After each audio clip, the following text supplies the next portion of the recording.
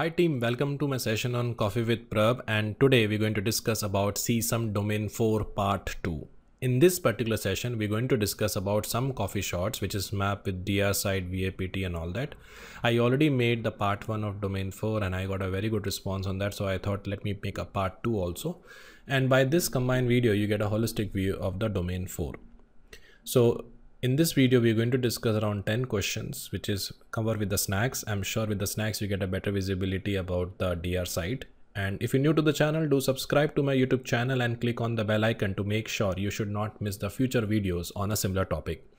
So without wasting a time, let's start with the first part. Thank you. So question is Aspirants Limited is planning to build an alternate site for e-commerce business services.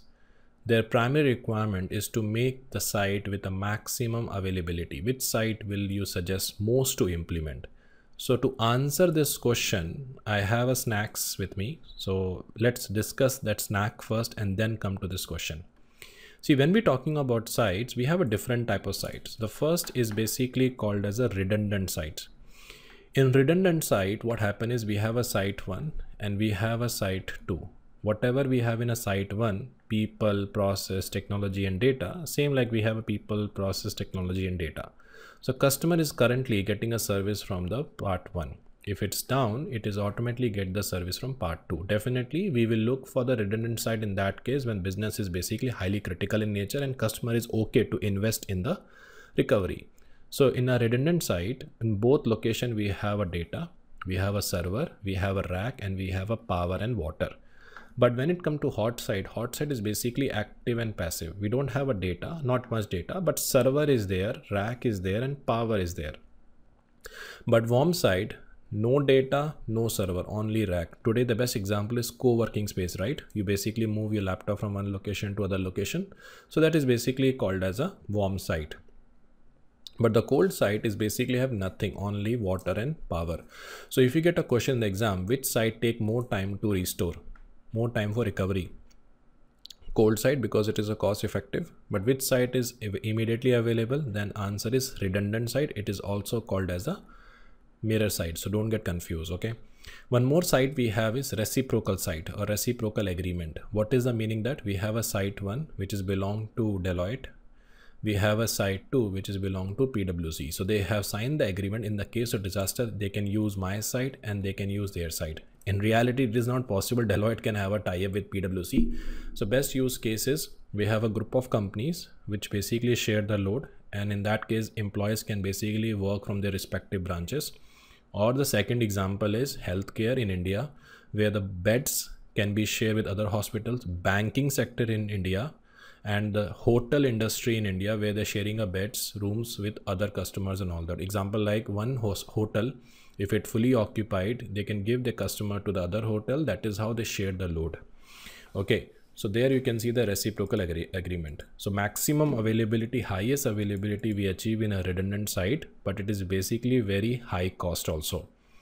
And best site for testing a DR plan is hot site least test site which is used for testing is cold site very expensive to test a DR plan in the case of cold site because we need to move everything in the cold site so going back to the question they're looking for the maximum availability. In a hot site is active passive warm site does not have a server. Cold site basically have nothing but they're looking for the maximum availability and they're into e-commerce. For them availability is a top priority. That is where the answer is mirror site let's move to the Next coffee shot. Which site facility appropriately sized to support systems requirement and configure with the necessary system hardware supporting infrastructure and support people. Cold site remove because we only have water and uh, things. Warm site is also removed because they have a servers. There's a support system requirement. Mirror site is gone because it does not have a data. So only close option left with B for beta because on a hot site we have everything except data. We need to move data and make it as an operational. That is why the answer is B for beta. Let's move to the next coffee shot. Thank you. So question is which type of site can survive with the longest MTD for a customer? Longest basically more MTD. It means like if I say MTD 5 hour and if I say MTD 10 hour, it means we have a more time to restore. So mirror site doesn't demand the longest MTD, so A removed. Hot site compared to mirror site is there. Warm site is also there. Because in a mirror site, data, data there. Hot site, we just need to move data. So hardly in 24 hour we restore. Warm site, we need to move server, then move data, which take more longest time compared to B and C. But more longest time it will take is cold site because everything we have to build there. That's what the answer is D for delta. Let's move to the next coffee shot. Thank you. Good question. Which site partially equipped office space that contains some or all racks? Rack mean simple rack, okay, no server. Telecommunication power source. Definitely A removed, definitely D removed. We left with B and C. The thin line difference between the hot site and warm site is that in a hot site we have a server, but the question is about there's no server, there only racks we need to move server. So rack telecommunication power source you can see in the warm site. So we need to move server, we need to move data to make it as a operational. So in that case, that's why the answer is warm site. Let's move to the next coffee shot. Thank you. What is the primary outcome of the lesson learned during an incident process? Option A, improve incident response process Makes sense justifying the existence of response team that is not the primary outcome because lesson learn is all about what what is the mistakes we did during our incident response process how can we improve how fast we can able to detect that what we have.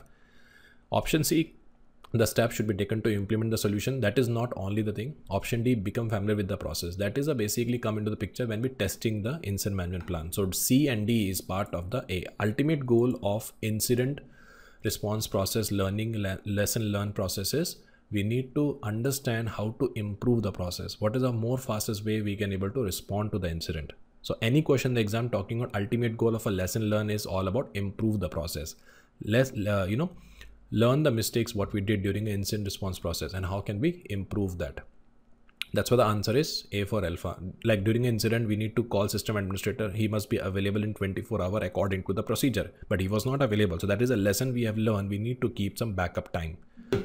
So that is how you basically try to prioritize. Let's move to the next coffee shot. Thank you. So question is which source of evidence from a compromised server is the most likely to be yield the most valuable insight for forensic investigation. Definitely network logs is very important because it gives the network activity. System logs is also important because it gives the system activity. Restore from a last backup will not help me with that because we might miss the recent current data, memory data and all that. So if you take the bit by bit image of the system, so this is the system A infected with a virus, remove the network cable, dump the memory, and then we take a bit by bit image of the systems which is exactly copy the replica of the system which capture the deleted file slack space and everything. And then do the investigation on the on that particular copy of an image will give you the the new learning. So that is why the answer is c for charlie let's move to the next coffee shot thank you okay it's also a good question what are the most important things to look for during an internal organization penetration testing activity as a part of a incident response program? It means the question talking about what is the parameter or things need to be reviewed when we're doing an internal pen testing, which is internal network. Option A, reboot the machine to break the remote connection. But that is the role of a pen testing, right? Okay, B called vulnerability in the internal network and system security. Definitely we have to look for.